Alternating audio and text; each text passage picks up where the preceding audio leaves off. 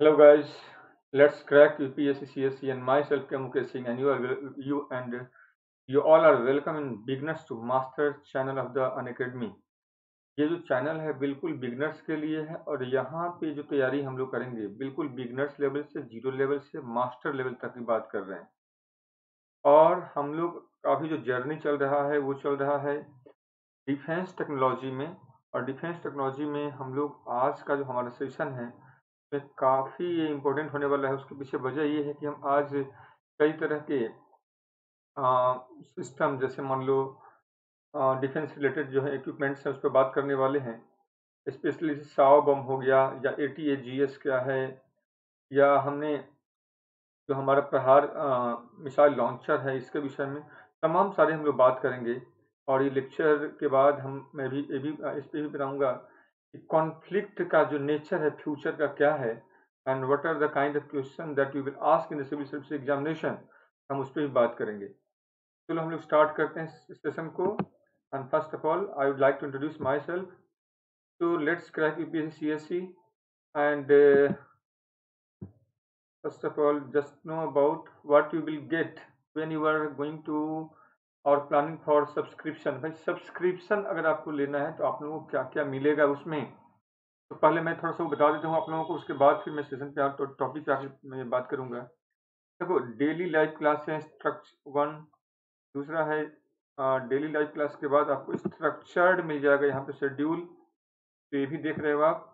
Structured schedule का मतलब क्या होता है? ठीक है डेली लाइव क्लास तो समझ ही रहे हो आप लोग।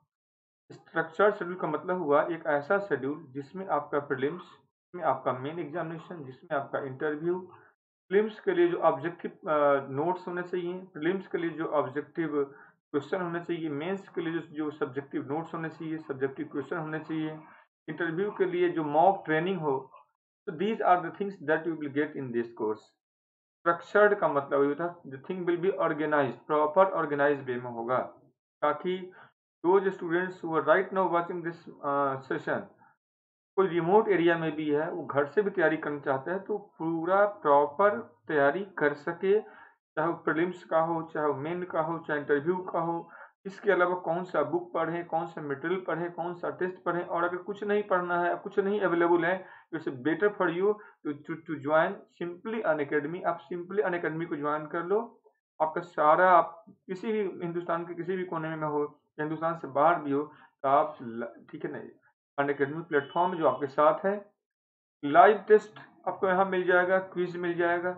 अब इससे लाइव टेस्ट भी मिल रहा है आपको। अब तक क्या हो रहा था कि टेस्ट लाइव नहीं मिलेगा पर यहाँ लाइव टेस्ट मिलेगा और लाइव क्विज भी एम जो होता है वो भी आपको मिल रहा है। Unlimited access of video and PDF PDF जो है और वीडियो को आप अनलिमिटेड एसेस कर सकोगे। तो these are the things that you will get मैं तो यही कहूँगा भाई, अब ऑफलाइन कहीं पे कोई क्लास करते हो, जरा सोच के देखो, वहाँ पे दो लाख, तीन लाख, चार लाख तक फ़ी पे करते हो। अन अकेडमी इन सारे कोर्स को इतने कम फ़ी पे लेके आया हुआ है, उसको मैं, ठीक है तो उसके लिए करना क्या होगा आप लोगों को? कि आप लोगों को डाउनलोड करना होगा अन अकेडमी का लर्निंग ऐप आपको इसको डाउनलोड कर लेना है और डाउनलोड करने के बाद आपको वहाँ पे जब जाओगे, ठीक है तो अबाउट पहले मैं अपने विषय में थोड़ा बताता हूँ, फिर मैं आगे बताऊँगा। So myself K. Mukesh Singh and I did BSc Geology honors. Right now I am teaching anthropology option and, and, and in GS GS में साइंस टेक जनरल साइंस और इकोलॉजी इन्वायरमेंट में पढ़ाता हूँ इसके अलावा मैंने यूपीएससी यूपीएससी का exam भी दिया हुआ है और पिछले सिंस टू थाउज़ेंड फोर दो हज़ार चार से अब तक दिल्ली में कई सारे अकेडमी में पढ़ा रहा हूँ एंड कई सारे बच्चों जिनको मैंने पढ़ाया है so they got final result in I S and I F S examination so along with me at at this platform you will get hundred more than hundred top educators and now comes to the main जो students का होता है कि sir इसके फ़ी क्या होंगे? तो यहाँ पे मैं बता रहा हूँ आप लोग जो फ़ी आप लोगों को पे करना होगा फ़ी इसका आपको, देखो वन मंथ से लेकर के और छत्तीस मंथ तक का है।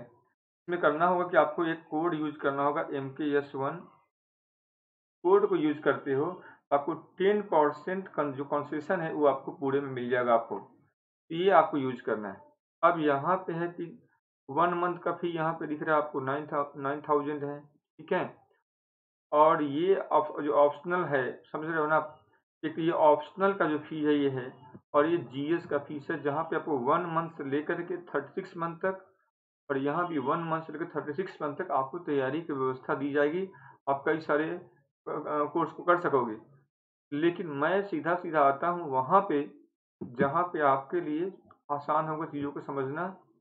यहाँ पे समझिए, यहाँ पे दो पैकेज है। एक है आइकोनिक पैकेज है, दूसरा है प्लस पैकेज आइकोनिक पैकेज अगर आप लेते हो तो आइकोनिक पैकेज में क्या होगा? ट्वेल्व मंथ का कोर्स है ट्वेंटी फोर मंथ है एंड थर्टी सिक्स मंथ है। तो आप लोगों को करना क्या है? यहाँ पे जो ये ऑप्शनल का है? ठीक है? और और, या जीएस के भी हैं। तो आप अपने हिसाब से चूँकि अन अकेडमी अपना फ़ी बढ़ा रहा है तो अपने हिसाब से आप प्लस कोर्स हो या आइकोनिक कोर्स हो दोनों को चूज़ सकते हैं। थोड़ा सा फ़ीस के बढ़ रहे हैं। Onward thirty first fee क्या बढ़ेगा? कोड क्या यूज़ करना याद रखना आप लोग M K S one code को यूज़ कर लेना। और इससे आपको टेन परसेंट डिस्काउंट आपको यहाँ पे मिल जाएगा जो फ़ी है इस फ़ी पे। तब हम लोग बात करेंगे, यहाँ पे आते हैं थोड़ा सा यहाँ पे समझो जरा सा ट्वेल्व मंथ के लिए आपका जो जी एस है, इसका फ़ीस है forty nine thousand five hundred और ऑप्शनल की फ़ीस है सत्ताईस हज़ार पाँच सौ। अगर आप इकतीस अक्टूबर से पहले अन अकेडमी ज्वाइन करते हो तो जीएस के फ़ी में ही आपको ऑप्शनल का भी क्लास दिया जाएगा। मतलब forty nine thousand five hundred rupees में आप जीएस कंप्लीट वन ईयर के लिए प्लस ऑप्शनल कर सकोगे। इससे चीप एंड बेस्ट कुछ हो ही नहीं सकता है। आप किसी भी कोचिंग ऑफलाइन में चले जाओ, एक सिंगल ऑप्शनल का सब्जेक्ट कोई पढ़ाएगा तो उसके चार्जेस पचास हज़ार रुपये लोग ले रहे हैं। सिर्फ़ ऑप्शनल के साढ़े पचास हज़ार ले रहे हैं। लेकिन यहाँ पे आपको जीएस का all four paper of GS prelims mains plus materials plus PDF plus video plus optional के पीडीएफ में वीडियो सब आपको यहाँ मिल रहा है। At the cost of forty nine thousand five hundred rupees before thirty first October इकतीस अक्टूबर से पहले। इकतीस अक्टूबर के बाद आपको ऑप्शनल का फ़ी यहाँ पे जुड़ता हुआ दिख रहा है और फ़ी आपको पे करने होंगे सेवेंटी सेवन थाउज़ेंड तो इमीडिएट आप अगर आज लेते हो admission you will get forty nine thousand five hundred rupees तो मैं तो कहूँगा कि एटलीस्ट आप इस पैकेज को ले ही लो, इसलिए ले लो कि आपको जहाँ ऑफलाइन पढ़ना है पढ़ते रहो। जो जो, जहाँ भी पैसा बर्बाद करना है या जमा करना है करो, मैं मना नहीं करूँगा। पर एज ए ठीक है वीडियो को आप डाउनलोड कर सको पीडीएफ को डाउनलोड कर सको लाइव क्विज लाइव टेस्ट दे सको। इस इतने, सोच करके ज़रूर इसको ज्वाइन कर लो। प्लस कॉन्सेप्चुअल सीनियर फैकल्टीज के क्लास मिल जाएँगे आपको। मुझे लगता है कि बिल्कुल आपको ज्वाइन करना चाहिए और आप बगैर किसी ज़्यादा सोचने, विचारने की ज़रूरत नहीं है। आप सीधा सीधा यहाँ पे जाकर के एडमिशन ले लो। आपको सब्सक्रिप्शन कुछ ना कुछ ले ही लो। और इससे अच्छा मुझे भी लगता है कि अब तक मैंने भी नहीं देखा था। तो इससे बेसिकली बड़ा ऑफ़र है सारे बच्चों के लिए। और ऑप्शनल में फ्लेक्सिबिलिटी ये है कि आप अपने चॉइस के ऑप्शन को चूज़ कर सकते हो। और सेम ऑप्शन में आप कई सारे फैकल्टीज के वीडियो को एक्सेस कर सकते हो। ये ये क्या चाहिए? आपको अब तक मिल रहा था कि भाई एक ऑप्शनल में एक ही फैकल्टीज मिलेंगे। यहाँ पे एक ऑप्शन में आपको कई सारे मेंटोर्स मिल जाएँगे, उनके वीडियोज़ मिल जाएगा, उनका टेस्ट मिल जाएगा, उनका क्लास मिल जाएगा, उनका गाइडेंस मिल जाएगा। मैं तो कहूँगा भाई अभी के अभी आप जा करके ले लो। अदरवाइज़ यहाँ पे आप देख सकते हो वन मंथ से लेकर थर्टी सिक्स मंथ का। UPSC CSC optional UPSC CSC GS optional GS का है ऑप्शनल का फ़ी है, यहाँ पे रहे पाँच हज़ार शुरू होता है, पचास हज़ार तक में, ठीक है? और अगर आप जीएस में लेते हो तो नाइन थाउज़ेंड से लेकर के नाइनटी, नाइन्टी थाउज़ेंड तक ले जाओगे। टेन परसेंट आपको क्वेश्चन चाहिए ही चाहिए तो आप जा करके यूज़ यूज़ करो, मेरा है ये एम के एस वन। मैं लिख अगेन लिख दे रहा हूँ एम के एस वन इसको यू, यूज़ कर लेना। इस फ़ी में भी आपको डिस्काउंट मिल जाएगा टेन परसेंट का। कोड ये यूज़ करना आपको M K S one code use कर लेना है आप लोग अब हम लोग आज अब बात करेंगे आज के सेशन में अपने टॉपिक पे। हमने डिफेंस टेक्नोलॉजी में अब तक जो क्लास लिया हुआ है वो क्लास लिया हुआ आर्टिलरी आर्टिलरी के पहले का जिसमें हमने पढ़ा है कि भाई आईजीएमडीपी का स्टेब्लिशमेंट कैसे हुआ सारे मिसाइल के विषय हमने पढ़ा, चाहे वो बैलिस्टिक मिसाइल्स हो, चाहे वो क्रूज मिसाइल्स हो हमने पढ़ा हुआ है, ठीक है? इसके बाद हमने टैंक के विषय में पढ़ा है, हमने एरोनोटिक्स के विषय में पढ़ा है, हमने नेवल शिप के विषय में पढ़ा है, हमने रेडार के विषय में पढ़ा है, सोनार पढ़ा है, हमने लेजर पढ़ा है। आज हम लोग जो क्लास लेने जा रहे हैं, वो होगा आर्टिलरीज पे और ये जो प्रोग्राम है आपका, मिशन शक्ति थर्टी सिक्स, सागर मैत्री mission to, mission Raksha Gyan Shakti, digital sky platform and strategic partnership models. पर इससे पहले, इस प्रोग्राम की चर्चा करने से पहले आज का क्लास में हम लोग आज कवर करेंगे Pinaka mark one bullet proof jacket. Rafale हम लोग ऑलरेडी कर चुके हैं। तो राफेल पर हम लोग बात नहीं करेंगे। मैंने फिर हम लोग धनुष आर्टलरी गन पे बात करेंगे। आज का टॉपिक हम लोग का ये सब होगा। ठीक है, आज राफेल हम लोग बात कर चुके हैं, इस पर नहीं करेंगे अब। उसके बाद के नाइन वज्र टी गन पे बात करेंगे। फिर एडवांस टारगेट आर्टिलरी जो गन सिस्टम है एस इस पर बात करेंगे, फिर स्मार्ट एंटी एयरफील्ड वेपन से इस पर बात करेंगे, ठीक है? उसके बाद स्मर्ट से multiple barrel barrel rocket launcher हम लोग इस पर आज बात करेंगे। आज का टॉपिक हम लोगों का ये टॉपिक है, इस पर हम चर्चा करने जा रहे हैं आप लोगों को। इसके बाद एक क्वेश्चन है आप लोगों को क्वेश्चन मिलेगा आपको, और इसके पहले आप लोगों को कई तरह के जो हमारी जो प्रिपरेशन है, कई तरह की जो वार होता है क्या होता है कई तरह के जो कन्फ्लिक्ट हैं, उनको, उसके विषय में थोड़ा हम लोग समझेंगे। चलते हैं स्टार्ट करते one by one so first of all just see this Pinaka आप लोग पिनाका देख ही रहे हैं इसमें कितने जो सब गिन के देखो। आप लोगों को कितने इसमें मिसाल दिख रहा है? ट्वेल्व है ना? One two three four five six and one two three four five six यहाँ पे ट्वेल्व मिसाइल दिख रहा होगा आपको।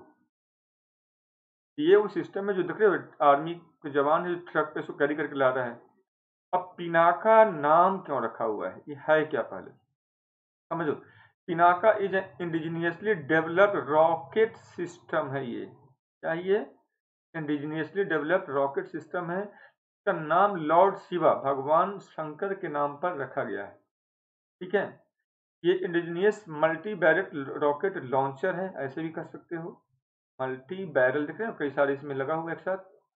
रॉकेट लॉन्चर है। इसको डेवलप किसने किया है तो डीआरडीओ किसके लिए किया है तो इंडियन आर्मी के लिए इसको डेवलप किया है इंडिया में वैसे भी आप लोगों को पता होगा जितने भी मिसाइल्स हैं या डिफेंस से रिलेटेड आर्टिलरीज हैं या रिसर्च हैं या डेवलपमेंट हैं ये सबके सब कौन करता है तो इंडिया में डीआरडीओ करता है because DRDO is the nodal agency DRDO is apex agency that are responsible for designing, manufacturing, fabricating the all the weapons and weapons related research and development.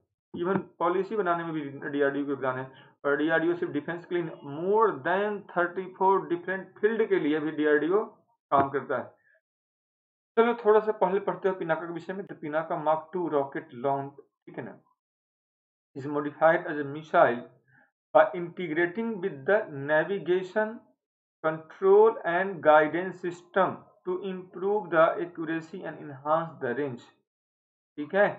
The navigation system of missile is added by the IRNSS Indian Regional Navigation Satellite System है ये। ठीक है, इसका range क्या होगा? पता है आप लोगों को ना सबको? ये इंडिया का रीजनल नेविगेशन सैटेलाइट सिस्टम है। पता है ना सब सारे बच्चों को? भाई इंडिया का ये मैप मैं बना रहा हूँ। चलो मैप आप लोग समझ ही गए। अब ये जो मैप है मतलब ये जो सिस्टम है आई इंडिया के पूरे टेरिटरी के अलावा ऑलमोस्ट याद रखना ठीक है, पंद्रह सौ किलोमीटर के सर्कमफरेंस तक में ये मिसाइल को ये गाइड कर सकता है और कोई भी देश हमारे इस सैटेलाइट सिस्टम को, जिसका नाम ही रीजनल नेविगेशन सैटेलाइट सिस्टम, जिसका नाम अब कर दिया गया नाविक, इसका वो सहारा ले सकता है, ठीक है, और इसका यूज़ कर सकता है, इसके सिग्नल्स का, ठीक है, ताकि वो अपने व्हीकल को गाइड कर सके, अपने मिसाइल को गाइड कर सके, और पिनाका भी इससे गाइडेड है, इससे इक्विप्ड है, ये पिनाका के जो कैपेबिलिटीज हैं ठीक है स्ट्राइकिंग जो कैपेबिलिटीज हैं, उसको ये काफ़ी इफ़ेक्टिव बना देता है। इस बात को हम लोग को सबको यहाँ पे याद रखना है, ठीक है?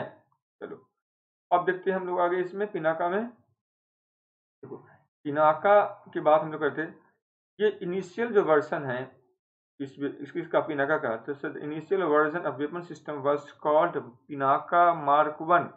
Pinaka के दो वेरिएंट हैं है पिनाका मार्क वन। जिसका रेंज तय किया गया था 40 किलोमीटर और इसी का अपग्रेडेड जो वर्जन है वो है पिनाका मार्क टू मतलब पिनाका का दो दो टाइप में डेवलप किया गया पिनाका मार्क वन और पिनाका मार्क टू के रूप में। मार्क वन का रेंज हो गया 40 किलोमीटर और मार्क टू का रेंज है सेवेंटी टू एट्टी किलोमीटर के रेंज में इसको डेवलप किया गया है। The mission achieved all the objective including enhancing the range, accuracy and subsystem functionality.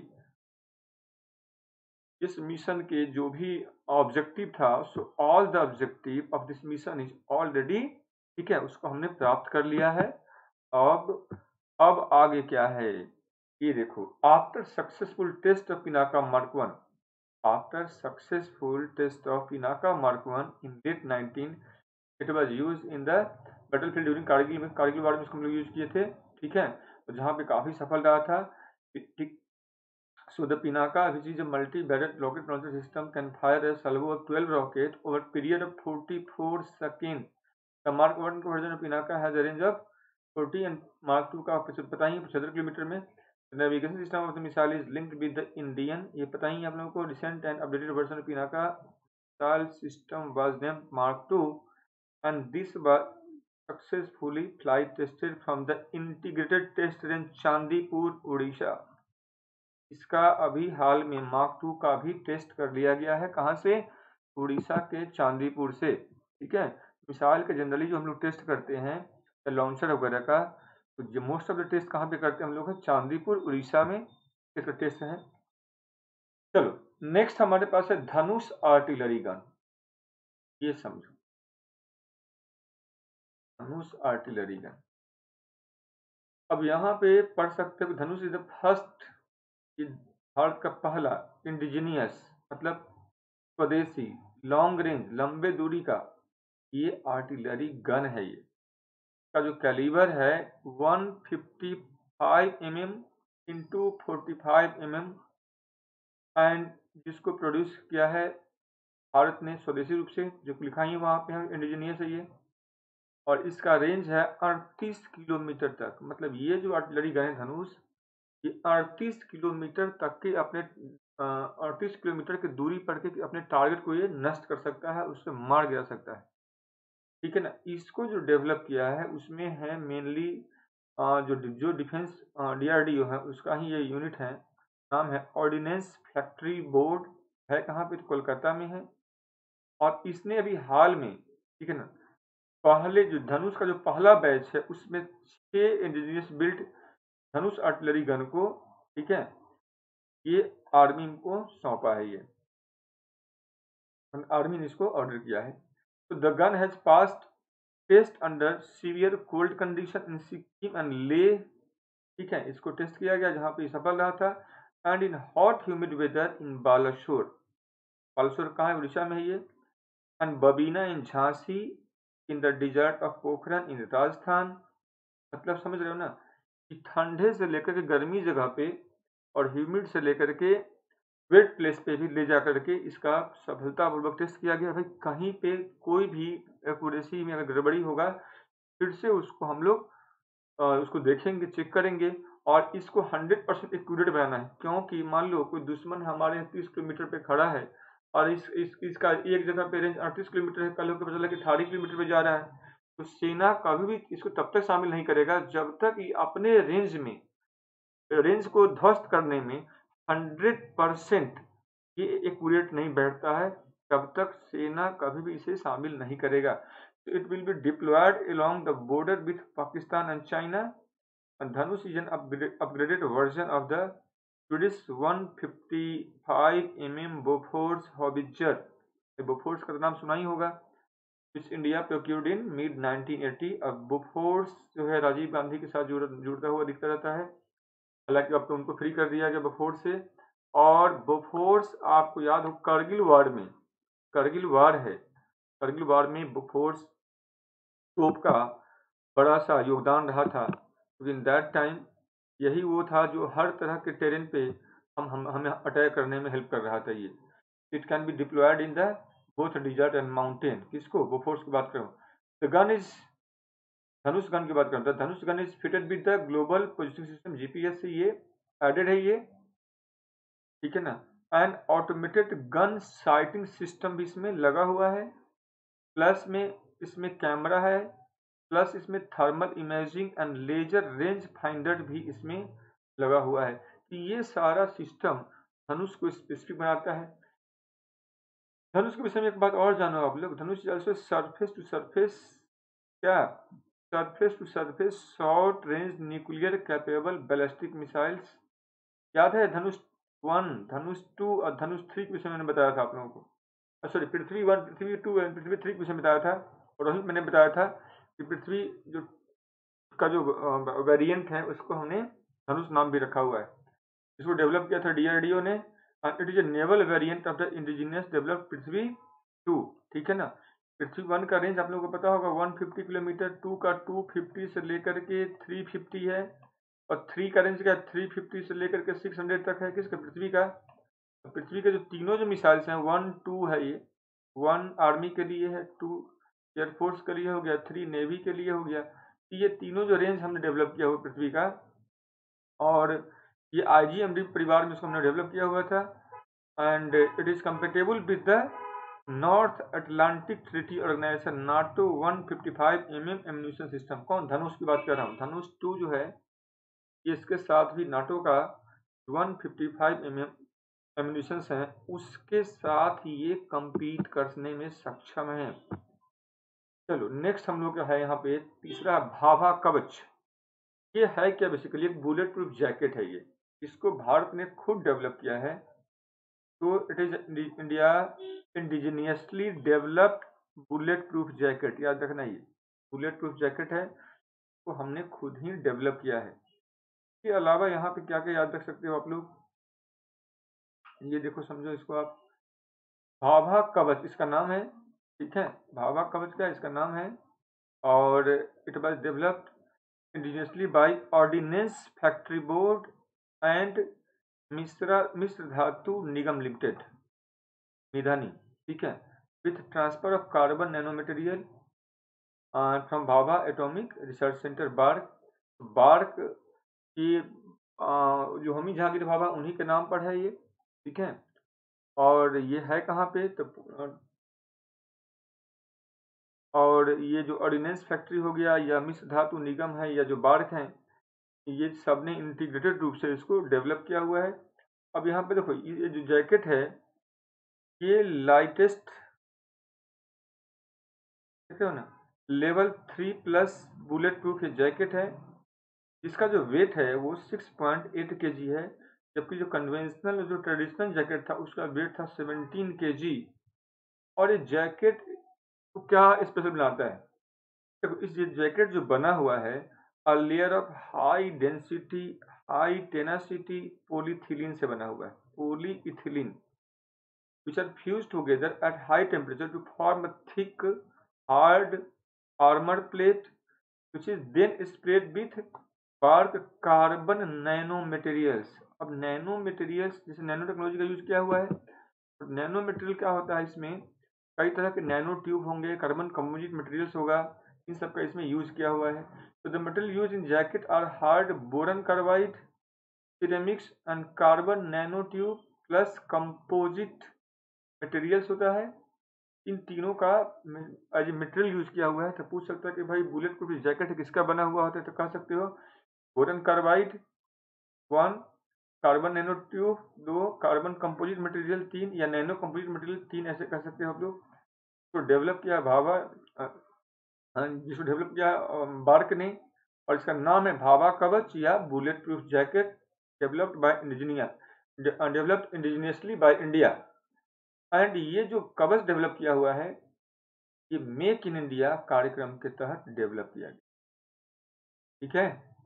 अब इसका इस ये जो जैकेट है इस जैकेट की खासियत क्या है? इस जैकेट को टेस्ट किया गया जब ये टेस्ट में क्वालिफाई किया ठीक है ना? ऑल द बैलिस्टिक टेस्ट इस पर जो आ, किया जा चुका बैलिस्टिक का मैं यहाँ पसंद से मिला मिसाइल का नहीं बल्कि वो स्पीड की बात कर रहा हूँ। और इसके लिए जो नेशनल इंस्टीट्यूट ऑफ़ जस्टिस हैं N I Z and new bureau bureau of Indian standard है बी आई एस इन दोनों ने इसका इसको क्वालिफाई किया कि ये अपने जिसका जो बनावट है, उसमें परफेक्ट है ये। अब है कि ये क्या किस किस तरह के मिस के गन है या राइफल्स हैं, उस उस उससे ये प्रूफ है।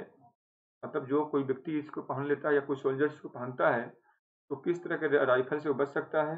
यहाँ पे देखो लेवल थ्री इसका नाम इसलिए रखा हुआ है कि जो बुलेट प्रूफ जैकेट है it can stop seven point six two into thirty nine M M hard steel core bullet fired जो बुलेट हैं, जो गोली है, अगर सात दशमलव बासठ गुना उनचालीस एम एम का अगर वो बुलेट है, उस बुलेट को ये रोक सकता है जो ए के फोर्टी सेवन हम लोग यूज़ करते हैं। ठीक वैसे ही हम लोग आप लोग इंसास अब या एस एल आर इंसास भी क्या है, एक प्रकार का ये आर्म्स आर्म्स हैं और एस एल आर भी एक राइफल है। इस राइफल्स का जो बुलेट है 5.56 point five six into forty five M का बॉल जैसा होता है ये, उस बुलेट को भी ये रोकने, रोक सकता है और इस प्रकार से ये इंडियन जो सिक्योरिटी फोर्स हैं, चाहे वो सी ए पी एफ़ हो, चाहे वो सी आर पी एफ़ हो, चाहे वो बी एस एफ़ हो, चाहे वो आई टी बी पी हो, चाहे वो एस एस बी हो इन सब के, के जीवन के लिए ये काफ़ी ज़रूरी था to which secure our border area on सही सारे force and they are in dire need of this jacket and that's why this jacket and covers was developed by BARC along with ठीक है others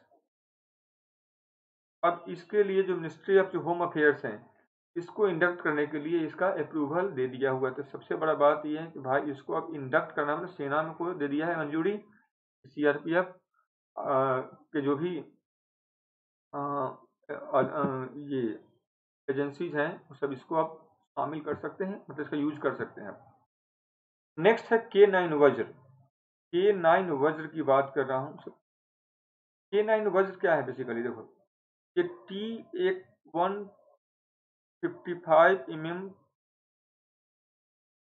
tracked self propelled howitzer है ये। ठीक है? तो के नाइन ये है के नाइन वज्र है। ये सेल्फ प्रोपेल्ड हॉबिजर है हॉबिजर टैंक की तरह होता है which has its root in K nine Thunder ठीक है? और ये जो वज्र है, ये high rate of fire at long range and is compatible with the Indian and standard NATO ammunition को ये कम्पीट करता है ये, ठीक है? और इसमें क्या क्या खासियत है, वो देखते हैं हम लोग हैं। इसका जो प्लेटफॉर्म है, वो बना हुआ है स्टील से एंड इसका जो डिज़ाइन है वो M A P S maps modular azimuth positioning system पर ये इसका डिज़ाइन किया हुआ है। इसमें automatic fire control system powered gun elevation and turret traverse system इसमें लगा हुआ है। हाइड्रोन्यूमेटिक सस्पेंशन सिस्टम होने के कारण ये high ground clearance and mobility across different terrain क्षमता से ये युक्त है। इसके अलावा के नाइन जो थंडर प्लेटफॉर्म है, जिसकी हम लोग बात कर रहे हैं, इसका जो गन है वो वो देखो वन फिफ्टी फाइव एम का है वो कैलिबर जो गन है इसमें, और इसमें एक चीज़ आप लोग पढ़ोगे, ये जो टेक्नोलॉजी है, ये साउथ कोरिया ठीक है सपोर्टेड बाय साउथ कोरिया है ये, और लार्सन एंड टर्बो के साथ ये मिलकर के इसको डेवलप किया गया है, और Hanwha Techwin S W S T W उसके साथ ये पार्टनरशिप किया गया था, और फिर हमने इसको प्राप्त किया हुआ है कि फ़र्स्ट टेन के नाइन जो वज्र गन है been important from Hanwha tech Techwin of South Korea in semi knock down state and have been assembled by Larsen and turbo in India ठीक है? तो मैंने वही कहा था कि लार्सन टर्बो जो इंडिया का है वो प्लस साउथ कोरिया का जो हनावन टेकविन है, इन दोनों के साथ पार्टनरशिप किया गया है। जब हमने हनावन से इसको प्राप्त किया, तब लार्सन टर्बो ने इसको फिर से असेंबल किया है। चूँकि हमने वहाँ से लाया था एज पार्ट पार्ट में असेंबल करने का काम किया, यहाँ पे लार्सन टर्बो ने ठीक है ना? और इसको अब हम लोग यहाँ पर डेवलप कर इससे हमारा जो मिसाइल कैपेबिलिटी इससे जो हमारा जो डिटरेंस कैपेबिलिटीज़ हैं, वो कई गुना बढ़ जाएगा। क्योंकि ये जो वेपन्स हैं, इसका जो फायरिंग जो रेंज है, ठीक है, वो कहीं ना कहीं इसे आज के डेट में अब one of the advance first line frontier बनाता है इसको। फ़र्स्ट मतलब लाइन ऑफ़ जो डिफेंस है उसके रिस्पेक्ट में ये काफ़ी रिलायबल है और मोस्ट पावरफुल भी है।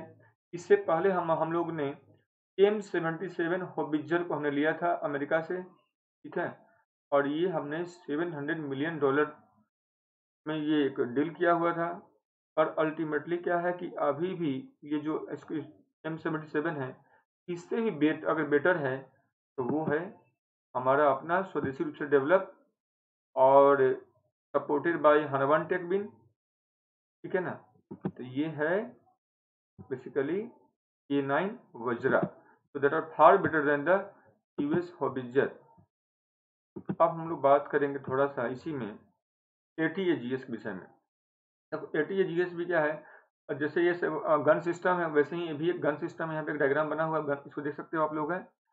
और इस इस गन सिस्टम को जो डेवलप किया हुआ है वो डेवलप किया हुआ प्राइवेट सेक्टर के साथ मिलकर के डीआरडीओ ने। और प्राइवेट सेक्टर में क्या क्या है? पहले तो हो गया टाटा, दूसरा है भारत फोर्ज। और इसके कारण, ठीक है, इसका हमने टेस्ट भी किया हुआ है। इसके विषय में थोड़ा सा पहले पढ़ लेते हैं हम लोग हैं।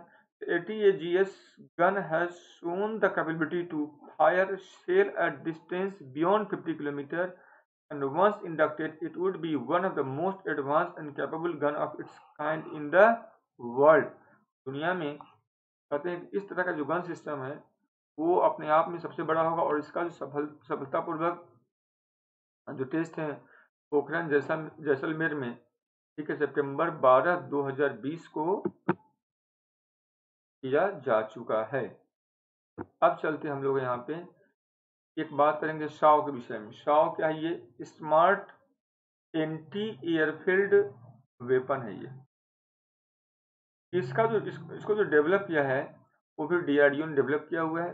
अलॉन्ग विद डीआरडीओ इसमें research centre Imarat plus DRDO और प्लस इंडियन एयरफोर्स तीनों का एक साथ इसमें कंट्रीब्यूशन है। तीनों के लेबोरेटरी को यूज़ किया गया है और इसको डेवलप किया गया है।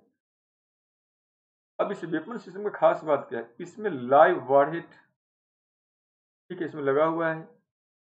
और जिसके कारण क्या होता है? ये अपने टारगेट को डिस्ट्रॉय करता है हाई प्रिसीजन से मतलब इसका जो एक्यूरेसी है काफ़ी बेहतर है। ठीक है?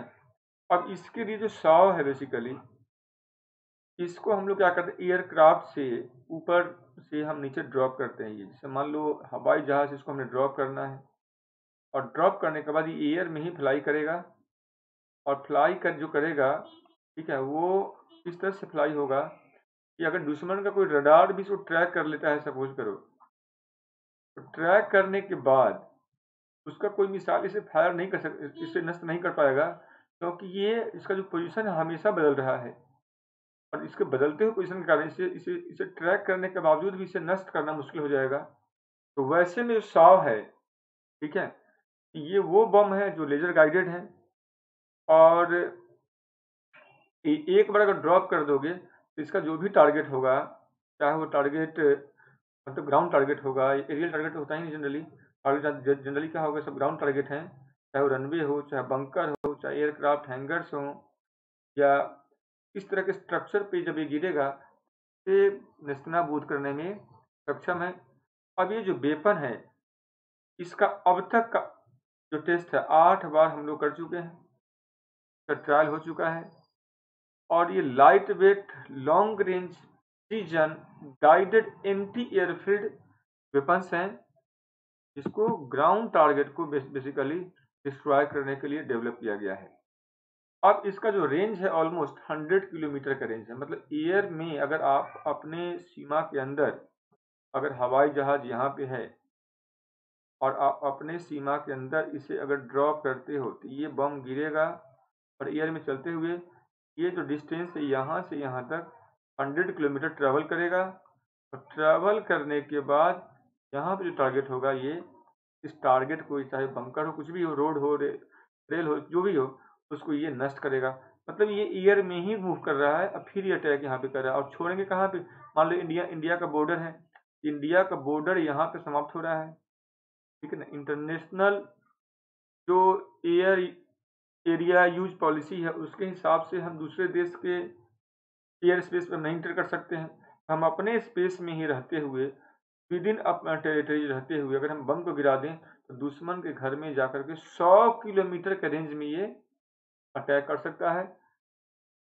अब it is India first fully indigenous anti airfield weapons ठीक है? And this project by sanctioned by Indian government in September 2013 और इसका जो कॉस्ट था 56.58 crore and the bomb released from the aircraft and guided through precision navigation system reached the target great, okay greater than 70 km up to 100 km with high accuracy ठीक है ये है शॉव इसलिए इसका नाम ही है स्मार्ट एंटी एयरफील्ड वेपन्स अब हम थोड़ा सा बात करने जा रहे हैं changing nature of conflict conflict देखो हम चाहता है इंडिया चाहता है कि उसका एक अपना मिनिमम डिटरेंस कैपेबिलिटी बहाल हो। हम चाहते हैं कि हमारा मिनिमम डिटरेंस कैपेबिलिटी हमेशा मेंटेन रहे या बना रहे। इसके लिए हमने अपना न्यूक्लियर पॉलिसी बनाया, इसके लिए हमने अपना डिफेंस पॉलिसी बनाया, इसके लिए हम हमेशा जब भी ये पॉलिसी बनाते रहें, हमने चाइना को, पाकिस्तान को हमने ध्यान में रखा कि भाई इनके यहाँ क्या डेवलपमेंट क्या प्रोग्रेस है। आज चाइना का जो प्रोग्रेस है, कई गुना है, पाकिस्तान का प्रोग्रेस कई गुना है। यहाँ तक कि हमारा जो आर्मी भी है और दुनिया का थर्ड लार्जेस्ट आर्मी है उसके बावजूद भी जो हमारा आर्मी है, क्या वो मॉडर्न जो जो वार सिस्टम है, ठीक है? या जो फ्यूचर वार सिस्टम होगा, उसके लिए क्या तैयार है? ये देखना होगा, क्योंकि फ्यूचर के लिए तैयार होने का मतलब हुआ, उसे मॉडर्नाइज करना पड़ेगा और मॉडर्नाइजेशन के लिए, ठीक है, उनका जो एजुकेशन है से लेकर के ट्रेनिंग सब क्या, और ट्रेनिंग के अलावा जो टेक्नोलॉजी है, उनको जो देना पड़ेगा, और अगर हम वो सप्लाई नहीं करते हैं अब तक डिले होते आया है। अब जो एग्जिस्टिंग जो गवर्नमेंट है, ये बेटर कर रही है। पहले जो गवर्नमेंट था, वो कहीं ना कहीं डिले होते रहा। अब बेटर हो रहा है और आने वाले समय में इसे काफ़ी फास्टली इसको करना पड़ेगा। जैसे 2018 में इंडिया ने काफ़ी सारे मिसाइल का टेस्ट किया और ऑलमोस्ट सारे मिसाइल्स का ऑलमोस्ट सारे वेपन्स का 2018 में टेस्ट किया गया था।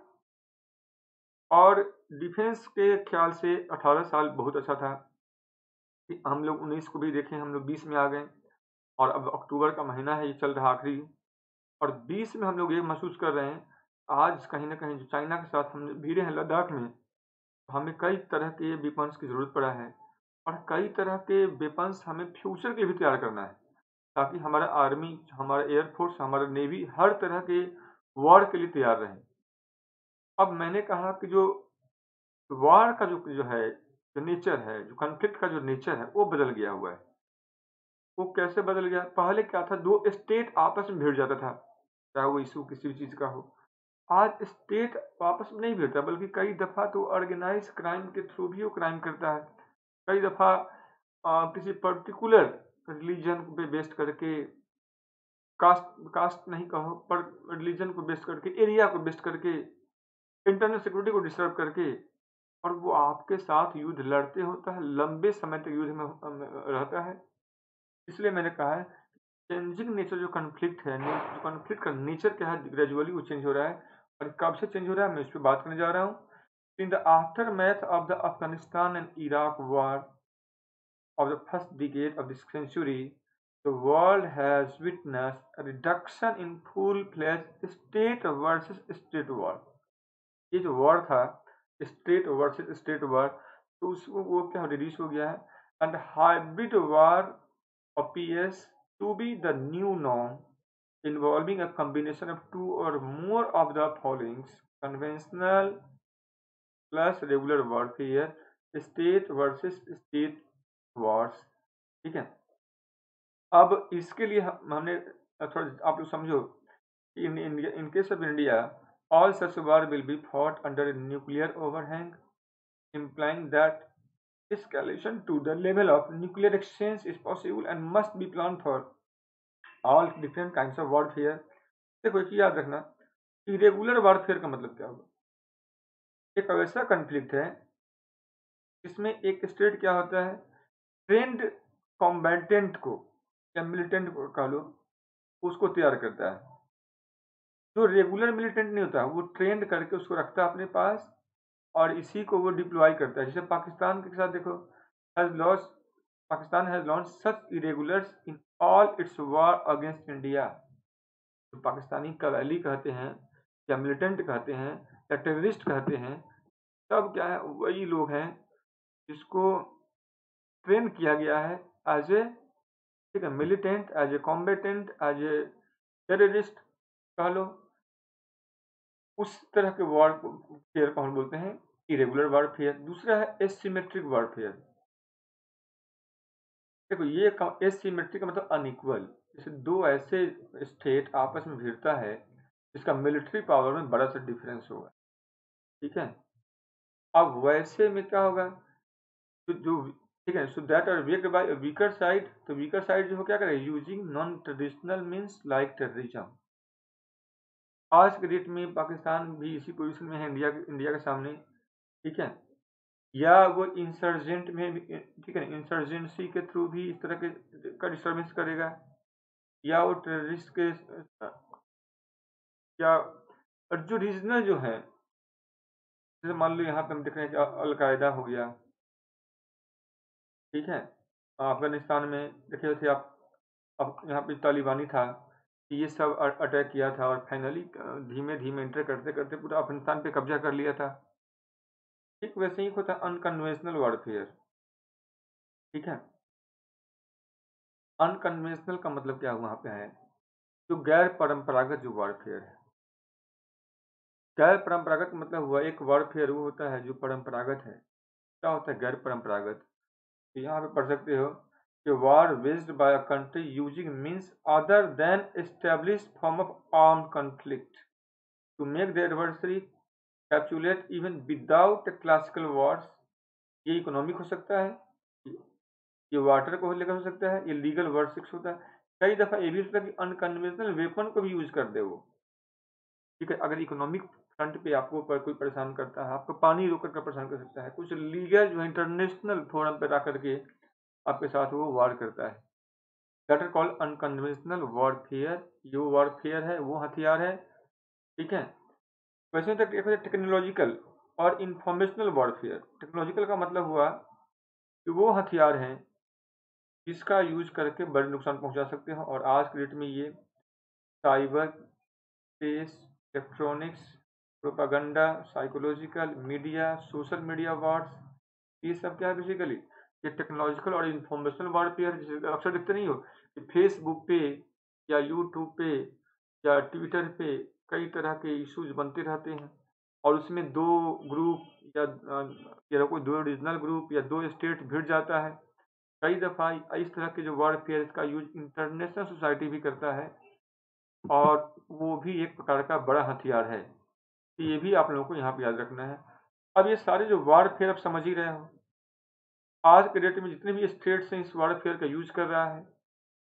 अब वैसे में एक क्वेश्चन बनता है in the modern context suggest the measure that enhance the capacity of security forces to undertake military operations optimally in the multi domain technology dominated battlefield of the future हम किस तरह का तैयारी करें, किस तरह से मॉडर्नाइज करें किस लेवल पे मॉडर्नाइज करें, ठीक है, ताकि भविष्य में हर परिस्थिति में होने वाले युद्ध को हम कर सके। और परिस्थिति का यहाँ सेंस है, जितने तरह का वारफेयर को यूज़ करते हैं हमारे अगेंस्ट उस हर तरह के कन्फ्लिक्ट के कंडीशन में, हर तरह के वारफेयर के यूज़ के कंडीशन में हम खुद को स्थापित कर सकें डोमिनेट कर सकें वार को जीत सकें बैटल में अपना और जो अधिपत्य है उसको स्थापित कर सकें। तो this is the question I hope कि आप इसका आंसर लिखोगे एंड uh, आप इसको शेयर कर सकते हो। Later I will provide you my Telegram link and as well as my Unacademy link Unacademy link से जो लोग जुड़े हो वहाँ पे आप लोग क्वेश्चन लिख सकते हो उसका आंसर जो लोग नहीं लिख पाते हो मैं उस उनके लिए प्रोवाइड करूँगा। तो तब तक के लिए सभी बच्चों को थैंक्स और कोड याद यहाँ पे रखना, मेरा कोड है यहाँ पे एम के एस वन इस कोड को आप लोग को यहाँ पे याद करना है। One minute I am going to write the code ठीक है? कोड याद रहेगा ना आप लोगों को? क्या याद करो, क्या यूज़ करोगे आप लोग कोड में? तो for code you need to use this and तब तक के लिए सारे बच्चे इसको याद रखेंगे। M K S one code याद रख लेना आप लोग। एंड थर्टी फ़र्स्ट अक्टूबर से पहले मैंने बताया आप लोगों को कि फ़ी बहुत कम है। उनचास हज़ार पाँच सौ में आपको पूरा जीएस और पूरा ऑप्शनल कहीं कोई करा ही नहीं सकता है और जो क्लास आप देख रहे हो तो इससे आपको समझ में आ रहा होगा कि भाई, हम लोग जो प्रोवाइड कर रहे हैं, उसका क्वालिटी क्या है? सो बेटर है कि आप ज्वाइन कर लीजिए अन अकेडमी और फिर आप अपनी तैयारी करते रहिए। चलिए, तब तक के लिए आप सबको थैंक्स एंड बाय